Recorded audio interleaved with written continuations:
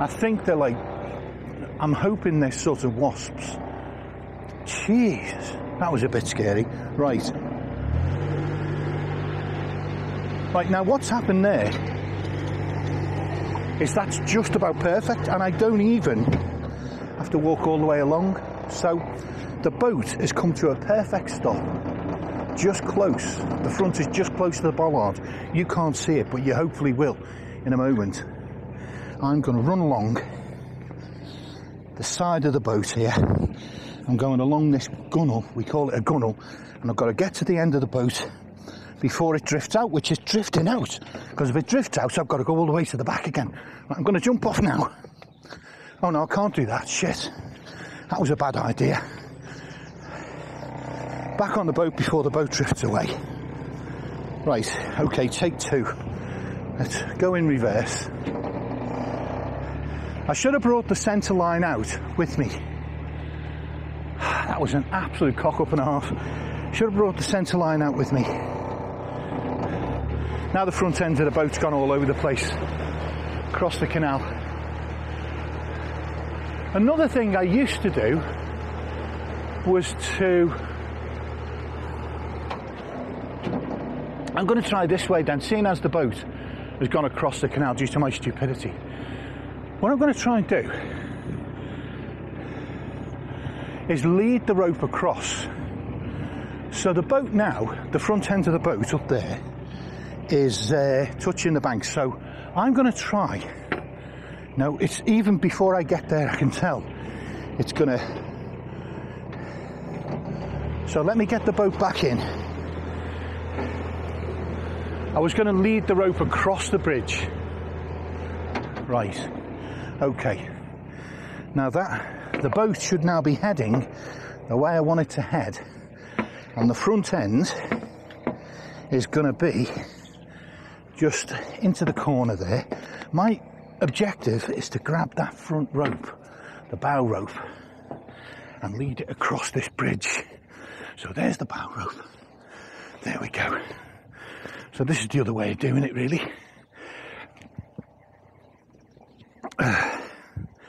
So I'm passing it round the bridge structure. And if you look, you'll see a little bollard there. So go in between the bridge struts or whatever they're called. And here's the rope.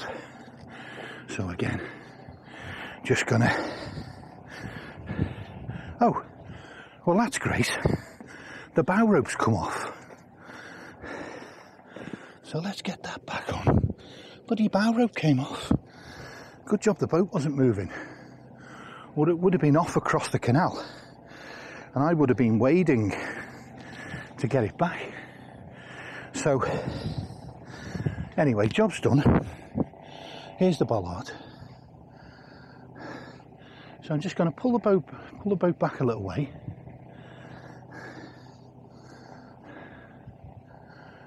Okay.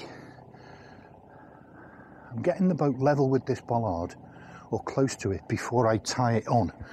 Because if I leave leave it loose, the front end will drift out and you know, I don't want that. I want minimal drift really. So so now you can see the boat is level with the bollard. So now one, two, three, four, five.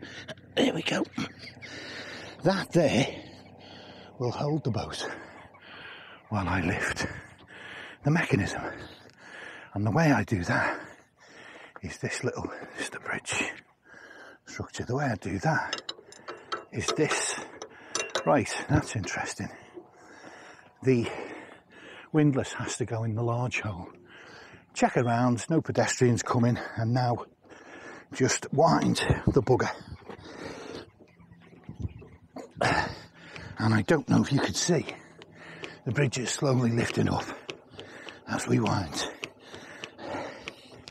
It's been like, has it been nine days? I think it's been nine days here. Uh, so apart from some cycling, I've not done any winding of windlasses and stuff. So I'm a little bit out of shape. And you can see the this big back end has swung down, so that's got a big weight in it, and it helps to hold the bridge. So it means I don't have to. I'm not lifting the full weight of the bridge. I'm just encouraging that counterweight. Anyway, just in case any pedestrians come along, I don't want to hang about. So I'm going to untie the boat, walk back along the gunwale. In fact, I'm not going to walk back. I could walk back and steer the boat through. I think it makes more sense to push the boat through. So I'm going to, uh, pull, pull. So off we go. Bit of a pull. Now I want enough of a pull for it to get through, but I've a slippy bloody ground. Jeez, gotta be careful. Dangerous game if you're not careful. So now I think I'm going to struggle to get this rope around this bridge and keep the boat in my sight. So I think I am going to jump back on. I think I will. So, so I'm going to go, whoa, back along the, the gunnels.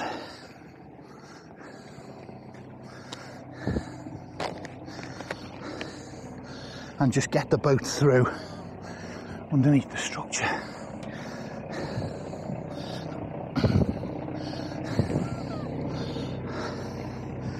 Okay.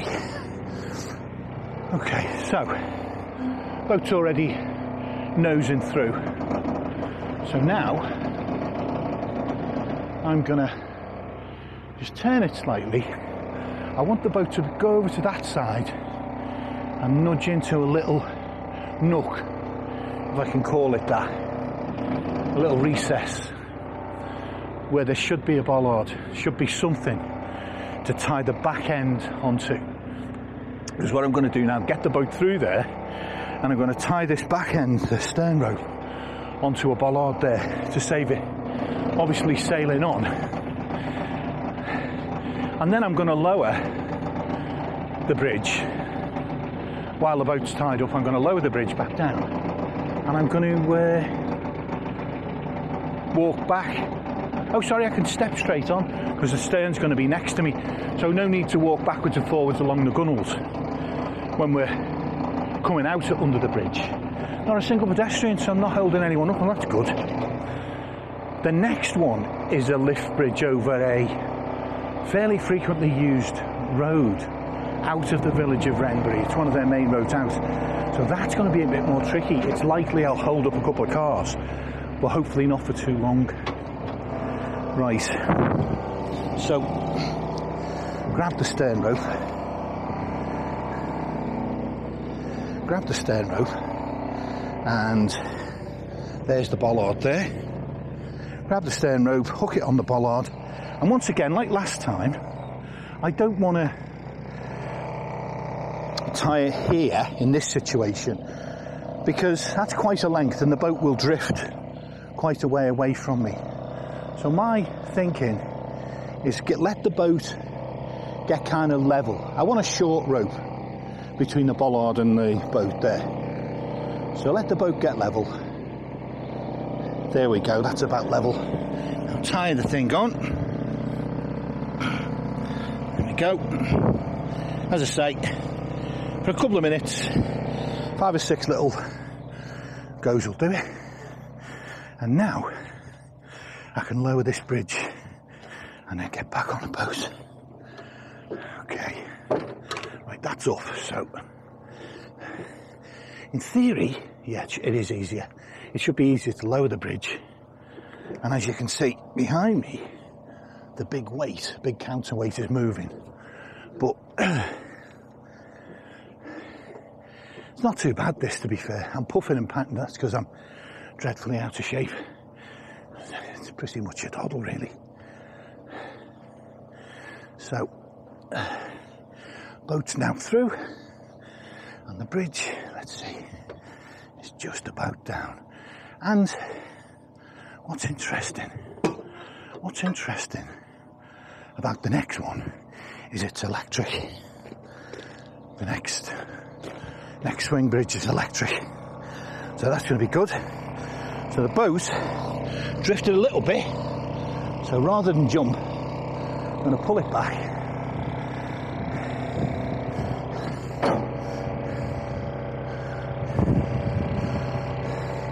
The bike's a bit of a nuisance, really. Okay, that didn't go well.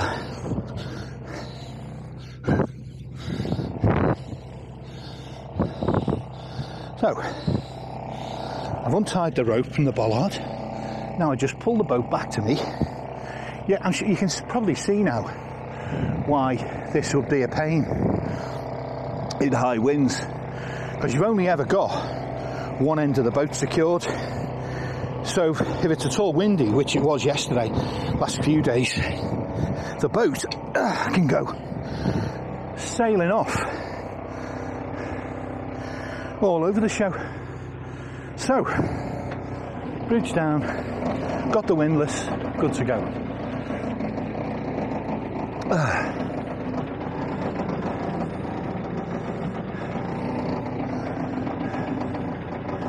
okay. So, I was hoping, just above the bank there, I was hoping I'd get some assistance. Like, as I said, couple of boats would be going past, but no buggers moving.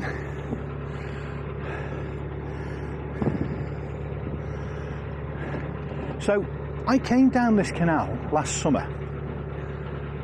I spent six months on this canal last summer. Uh, so this period is going to be very different that I'm going to spend on it. Perhaps a month, perhaps two. Got to be off by the end of December because they're closing the locks up at Hurleston that, that I went through a few days ago. Closing those for a month. And they're closing the locks ahead of me as well. Uh, anyway, you know, show you later on, just do that separately. But they're closing locks. And uh, I think two months is enough on, on this canal, to plenty really. Uh, so I'm going to aim to make sure, I'm going to aim to make sure that I'm back off this canal uh, when's it going to be? Uh, yeah, end of December. Jesus, what am I thinking? Right. I'm thinking about, you know, what I'm distracted thinking about that mechanism. Because I came, the thing I was going to say was, I uh, came on this canal last year and um, I got help through this this one with a road, a proper road with vehicles and traffic. Um, I got help both directions. First one, it was a hire boat with loads of kids, and they just all jumped off and worked the mechanism, and it was brilliant. I just sailed through. Um, and on the way back, a girl from the, there's a hire base just by the bridge, and they, she worked it for me, which is which just brilliant because my key was wrong to work, didn't have the right key. Um, anyway, um, so as it transpired, this is this will be the first time I've done it myself, even though it's my second time on the canal. So that's going to be interesting. Uh, and we'll see.